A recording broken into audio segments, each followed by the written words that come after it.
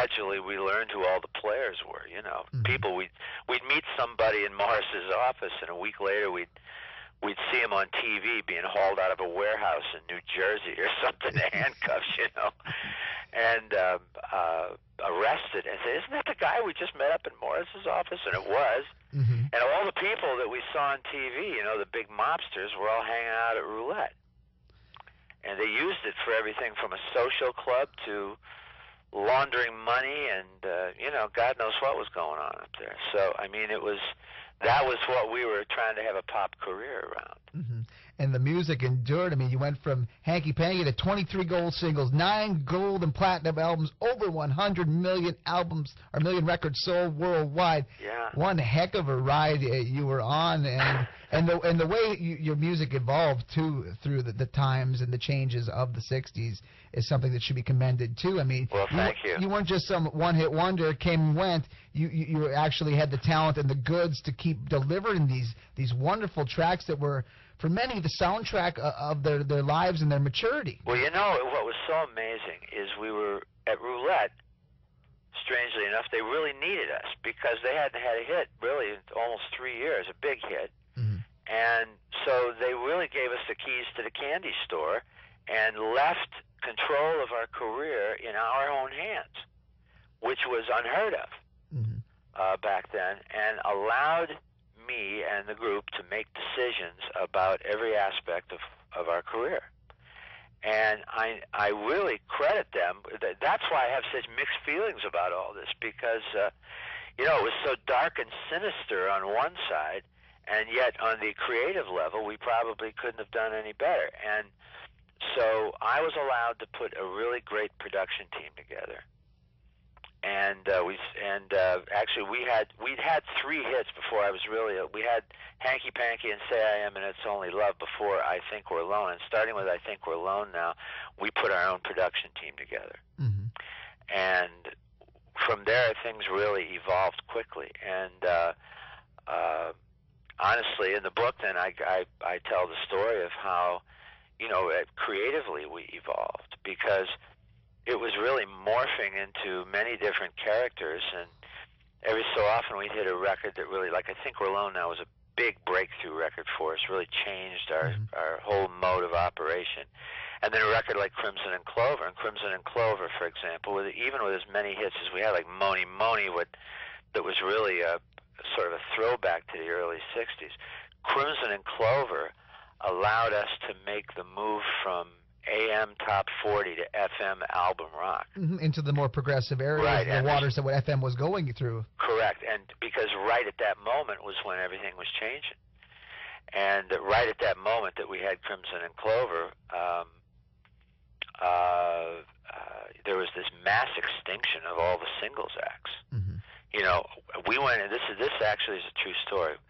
Um, we teamed up with Hubert Humphrey, who was running for president that year. He's the vice president Mhm. when we went out on the road with Hubert Humphrey, uh, that's a whole story on its own. but when we went on the road, road, uh, this would have been in August of of '68. Uh, all the the biggest acts on the radio were all singles acts. It was us and the Rascals and the Association and the Buckinghams and Oh, Gary great music. We get back 90 days later, and it's all album acts. It's Blood, Sweat, and Tears, Led Zeppelin, Crosby, Stills, and Nash, Joe Mhm. Cocker, and, and the whole industry had turned upside down. And we knew that if we didn't make a move right then to sell albums, that we were going to be just like our our our friends who basically stopped having hits at that moment Mhm. There was a couple who went on like the Doors and Sly and the Family Stone. There was there was um, not everybody was affected like that, but most of them were. So we were just so fortunate to have Crimson and Clover right at that moment, because no other single that we ever worked on would have allowed us in one single to make that move from AM to FM and to straddle that fence and um, and sell albums because it was all about selling albums then at that point. Hmm And I'm looking at a few facts here. Uh, you know, it says uh, that you guys were one of the you and the Shondells were one of the first groups to uh, produce music videos. Right. And that started with Mony Mony. Right. I mean, you guys are uh, groundbreakers there. I mean, that's uh, you know, like Well, you know 10, what 13 happened years is prior to we, we couldn't get them played anywhere, and it- there was this big, uh, uh, big backlash to it from American television. They didn't want rock and roll people telling them what to do. To me, it made all the sense in the world to make a film of your hit record. You know what I mean? Mm-hmm. Yeah, it- it you just- know, it to just go makes all over the sense. world, places you couldn't go, and you know, you could only appear one place at a time. So why wouldn't you do that? So uh, we started with Mony Mony, and uh, about the only place we could get the thing played was in European movie theaters. Oh, thanks. between, the double features, you know, so it was me and Daffy Duck for a long time. Yeah, but that uh, you know that's the power of uh, music and, and having a video like that. That just brings more people out and more Well, people to buy the records. That's true enough, but we couldn't get it played on American television. And I'm reading here, you know, 1969 though. There's got to be one of those moments uh, that you're saying, man, if we if we would have made this decision, it's uh, in regards to Woodstock. You, Yeah. you guys were offered uh, a slot too. Yep, we sure were. Uh, Artie Kornfeld, who was one of the promoters of the show, uh, contacted. He and I were friends, and we contact. He contacted my secretary at Roulette, and uh, we were in Hawaii at the time. And Crystal Blue was number one, and we were literally sitting at uh, the foot of Diamond Head in a Spanish villa right on the ocean Beautiful. and uh, in between two gigs out there. And uh, all of a sudden the phone rings and Joanne says to me, "Listen, uh, Artie says uh, I wants to know if you come up to uh, come back to New York and play a pig farm in upstate New York." I said, "What did you say?" She said, yeah. I said, did you say come and play a pig farm? And she said, well, yeah. She says it's supposed to be a big gig. There's going to be a lot of people. there." I said, you got to be kidding. I said, if if I'm not there, start without us, okay? I said, you're asking me to leave paradise and fly six thousand miles to play a pig farm, right?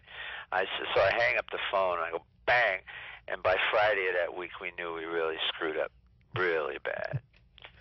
And uh, it was called Woodstock, and they started without us. Well, you know, it doesn't seem that uh, tempting when somebody's calling you up to offer you a slot to play in a pig field. I mean, really, in your defense. I mean, Well, who knew? you know, it, yeah, the whole cultural significance thing. Yeah, you, you you can't foretell something like that. Those We things just definitely happen. made the next one though. The next one was the Atlanta Pop Festival, Oh yes. and we yes. made that one. They actually had more people in Atlanta than they did in, at Woodstock. Yeah, there was a lot of uh, heavy hitters that uh, played that one as well. Yeah, it's basically the same people. Yeah, and uh, well, we- you know, we talk about uh, going into the '70s now. Uh, this is when you you you started uh, get, you know going into uh, the more in, as a solo act too. I mean, Yeah. yeah. And, Well, in 1970, uh, we had been going for five years, and we were exhausted, and we took some time off. Uh, we took about six months off, and we had planned on getting back together, and we just didn't. Mike and and um, Mike uh, uh, basically uh, started doing uh, uh, a group called the uh, called Hog Heaven. The group uh, Shondells became this group Hog Heaven. Mhm. Actually, recorded a couple albums with Roulette. And then uh, Eddie and Ronnie started a, a very successful recording studio in Pittsburgh. And uh, Mike got off into Christian music then, and and uh, uh, so we just kind of went our separate ways. I started producing at Columbia, and I produced uh, Exile and Patti Austin, and Mhm. um, you know, I was uh, producing other acts, and then I went back in the studio myself then in, in uh, uh, '71 and started a solo career with Draggin' a Line and I'm Oh. Coming Home, and we started had another 12 um, uh, chart records with Roulette. Mhm. And they're listening to a, a great uh, double disc that came out a couple years ago called 40 Years, the complete singles collection. Right. On the second disc, yeah, it really gave me a good taste of what happened. You know what went on with you in the 70s, and a lot of that stuff is. I, I got to give you, I got to tip the hat to you uh, yet again here. I I wasn't too familiar with it, but I came out really enjoying what you were doing. Well, I'm Uh, glad. You know, we had we basically the 40 year package, which is in the stores now, uh, is uh, all 47 of our singles released back to back. In other words, they're all sequential. So I left Roulette in 1974 and uh, uh, did a single with